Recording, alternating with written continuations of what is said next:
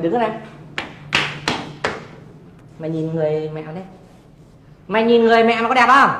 Vẫn bình thường à mày nhìn kỹ xem chỗ nào người mẹ mày từ chân lên đến đầu có chỗ nào là không bình thường? Cái anh này vớ vẩn. Đang khi không phải dạy con rất rất là gần yên tôi dạy con. Ngày nào con chả nhìn rồi. Con nhìn kỹ rồi. Ủa, mày nhìn kỹ xem người mẹ mày thế nào?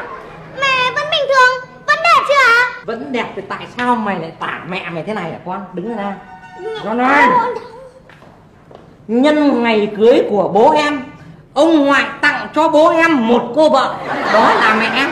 Mày biết thế à? Ừ, ừ.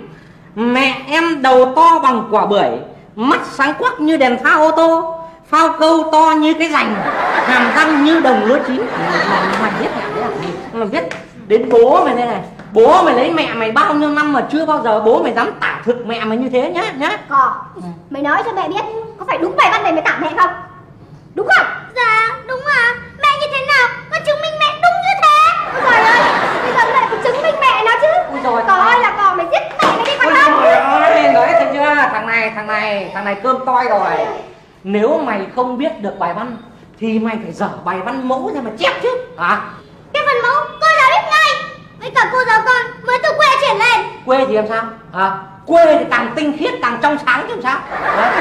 Phải sao Cả con chó này Lợn con trâu con vịt Con mới đâu được như mấy con đấy Ồ, thằng này ngu quá. Tại sao mày không bật phim con lợn lên mày xem? Hả? Thế kìa, ở trên VTV2 kìa, toàn phim ờ, lợn rồi trâu bò gà. Mày không bật lên xem? Ui giời ơi, mày biết cái này rồi. Ui giời ơi là giời. Có chuyện gì mà nhà mình cầm Mỹ thế à?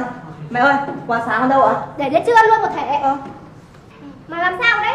Vậy làm anh nhưng mà cấm khi nào mà dạy em mày được một bài văn nào cả? Mày để nó làm văn thế à? Ôi dào, tưởng chuyện gì ghê gớm lắm. Bố mẹ tưởng học văn là dễ lắm đấy ạ. Không dễ đâu ạ.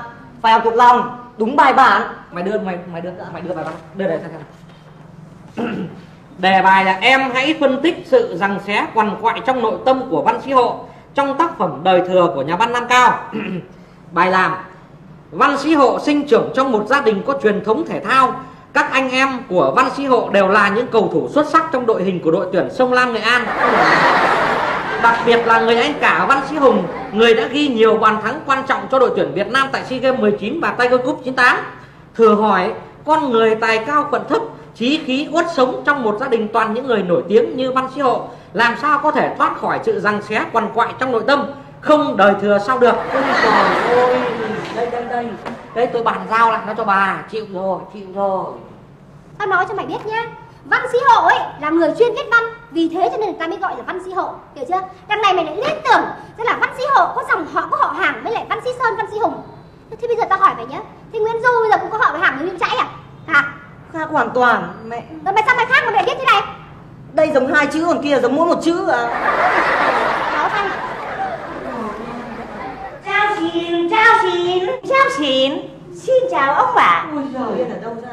Ông là Tôi xin tự giới thiệu. Tôi là một người Đài Loan. Tôi sang đây tôi cần kiếm một cô vợ. Ông bà có thể cho tôi tìm một cô vợ. Ờ, tôi cần tìm một cô vợ như ở trong cái tài liệu này. Cô này rất ấn tượng. Ai cũng biết cô ấy. Mà ông là đàn ông thì ông phải biết cô ấy rồi. Tên cô là gì? Cô ấy tên là Dầu. Tiếng Việt Nam còn gọi là gà.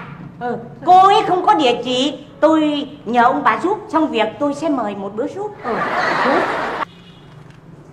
Chị Dậu là một nàng con gái có bộ lòng yêu thương chồng cực đại.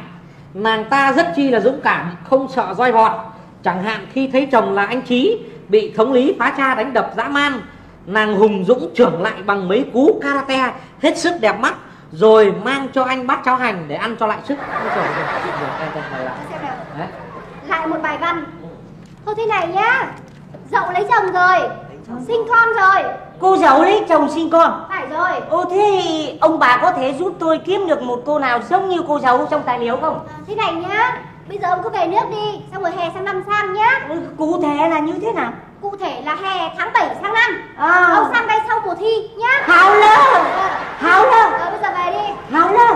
Về. Hào lơ. Về. Hào lơ Mẹ để con. Phạt. Ơ Mẹ thấy chưa? Từ ngữ của con hơi bị chuẩn đấy. Được, bố phải công nhận mày là từ ngữ chuẩn